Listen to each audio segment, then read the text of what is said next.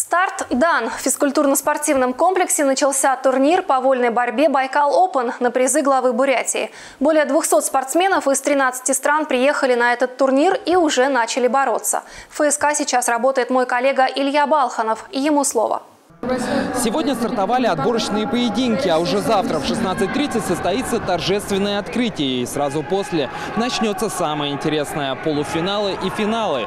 Чтобы ничего не пропустить, смотрите прямую трансляцию на телеканале АТВ и следите за нашими социальными сетями.